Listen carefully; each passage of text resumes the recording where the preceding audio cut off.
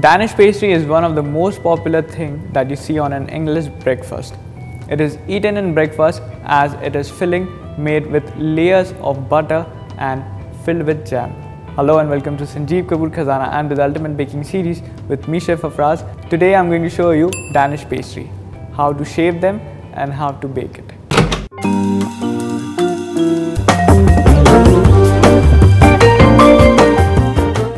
So let's quickly start. Oh Over here I have croissant dough. Know the recipe you can log on to YouTube slash Sanjeev Kapoor Khazana as I had made croissant in my earlier video. We are going to use the same dough to make Danish pastry but today I'm going to show you the different shapes of Danish, how it is made. So let's quickly roll this out. You can see many layers formed here and because of yeast it is getting proofed. So let's quickly roll it out. So now I'm going to dust some refined flour on the work surface and then I'm going to start rolling this.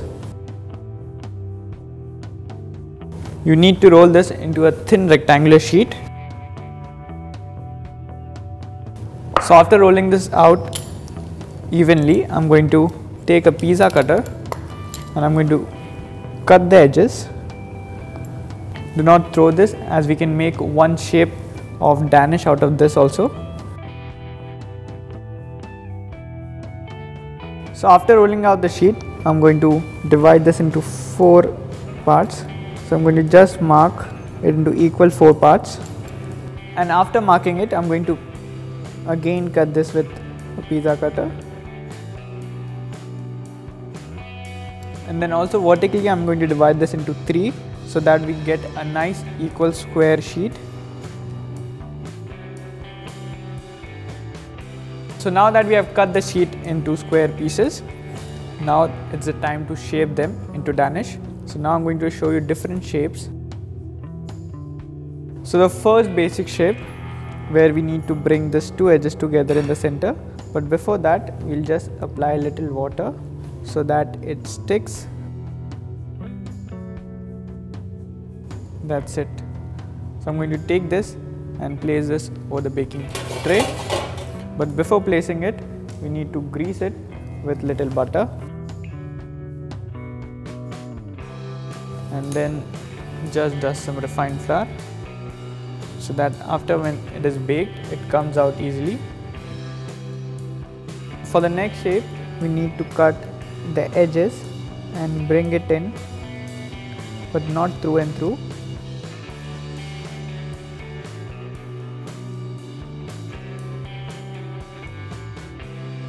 Like this and then start from one end.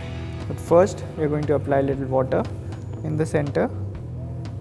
And then you start bring one edge inside.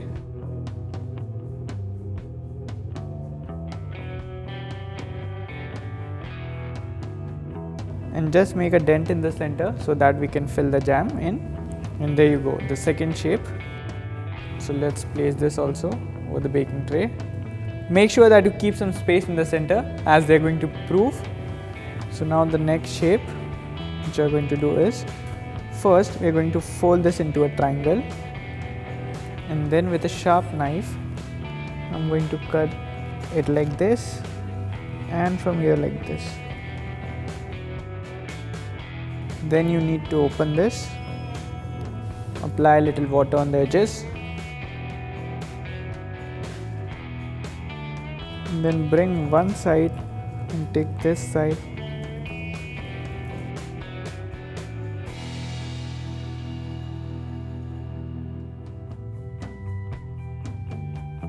And you get a cavity here to fill the jam. So our third shape is also ready. Now as I was talking about the trimmings the trimmings what you need to do is just turn it like this and then start rolling it from one end. And this is a common shape which you see in hotels or restaurants during the breakfast. So let's place this also over here. One more simple shape is that you bring all the four edges inside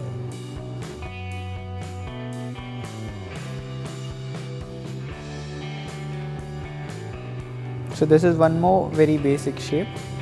So let's put this on the baking tray. And now one more very interesting shape which is like a windmill. So again let's cut from all the edges till the center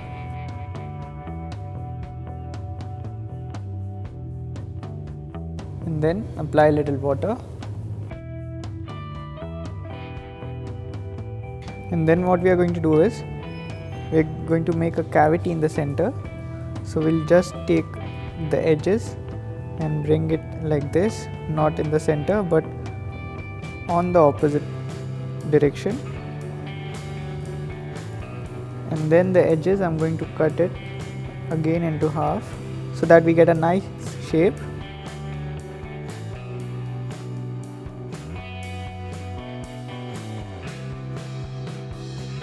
So now after shaping it, we need to cover it with a wet muslin cloth and keep it for proving for around 5 to 7 minutes. So now after 5 to 7 minutes, as you can see they have proved and this is the right time for them to go into a preheated oven at 180 degrees Celsius.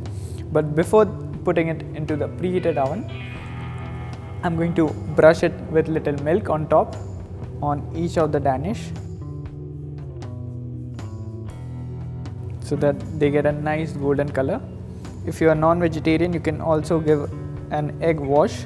So now after giving a light milk wash, I'm going to place this in a preheated oven at 180 degrees Celsius for around 12 to 15 minutes. You can also pipe the jam now, but if you pipe it now, it's going to melt and disintegrate and your Danish would look not too pretty. So after once it is baked, you can take this out from the oven, pipe the jam quickly and put it back in the oven for one minute and then they are ready to serve. So now as you see our Danish pastries have perfectly baked and now is the time to put jam on it. So here I have mixed fruit jam and pineapple jam.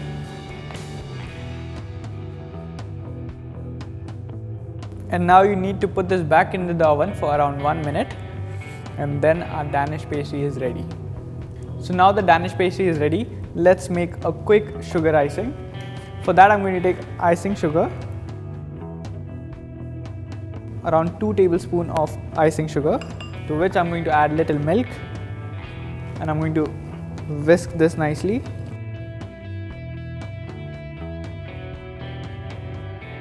And once it is nice and smooth, I'm going to fill this into a piping bag.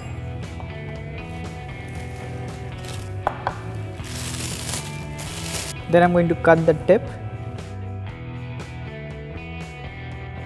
and then I'm going to put the sugar icing over the Danish.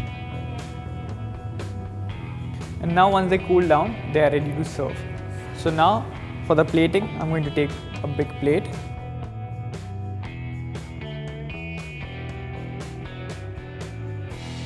So there you go. Our lovely cute looking Danish pastries are ready. Best to be eaten in breakfast. So do give it a try.